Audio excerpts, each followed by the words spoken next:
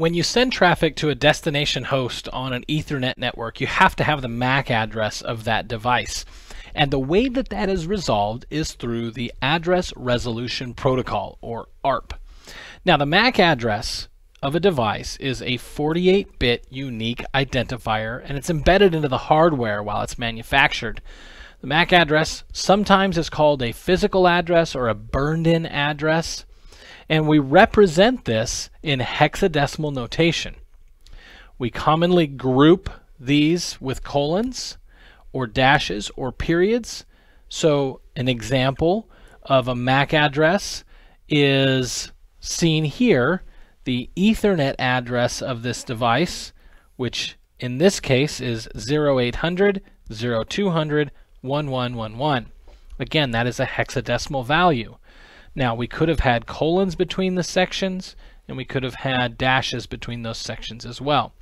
They all mean the same thing, they're just represented differently by different operating systems. So how does address resolution protocol work?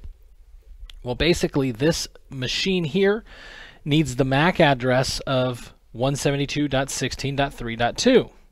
So in order to get it, it's going to send out a broadcast using the ARP protocol he sends out a broadcast that says, Hello, I'm looking for 172.16.3.2. Who is that? Please tell me. Now, this other machine that's on the network here hears that broadcast.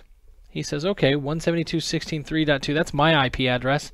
Let me reply back directly to that device that needs my MAC address, and I'll give him my MAC address. So that's what we see coming back here, a reply 172.16.3.2 is 0800 0200 1111.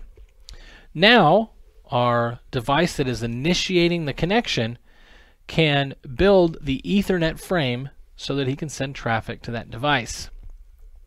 So now that original ARP request is a broadcast. And when he sends that broadcast out, the destination is a broadcast MAC address. Now that broadcast MAC address is going to be all Fs. So it would be ffff.ffff.fff.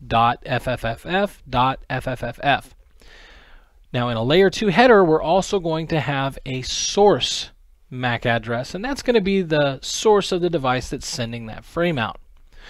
Once ARP has done its job and created a mapping, we're going to keep that in an ARP table. Now that ARP table is just a table of local bindings and we can see that by issuing the arp-a command. And that command works on both Windows and Linux devices. And so let's take a look at an example. So here's an example of the arp-a on a Windows device. Now, of course, this is a static screenshot, but we could look at this on a production device. Let's go ahead and do that now. And here we are on a Windows device. And we're going to issue the arp-a command. And immediately we see the internet address, the IP address, as well as the physical address. And this is a good example of how the physical address, which we said was another name for MAC address, can be separated by dashes. So in this case, we have 192.168.100.1, which is identified by the MAC address or the physical address of 00-35-1A-E4-89-A3. So this is how we would view the MAC address table on a Windows device. You might note here that on a Windows device, we have some multicast mappings. They start with 224 and 239.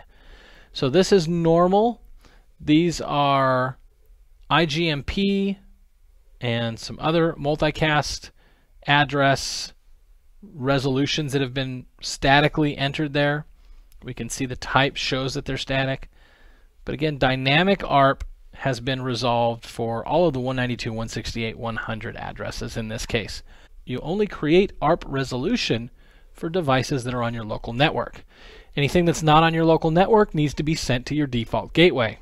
Just so happens that your default gateway is on your network, so you can do an ARP resolution for the gateway and forward packets off to that device. Now here we have an Ubuntu server and in this Ubuntu device we can also issue the arp-a command. Now you'll notice that it looks a little bit different in this case. we can see that 192.168.100.1 is a device there at 00 colon 35 colon 1A colon E4 colon 89 colon A3. And this is yet another way that MAC addresses are represented.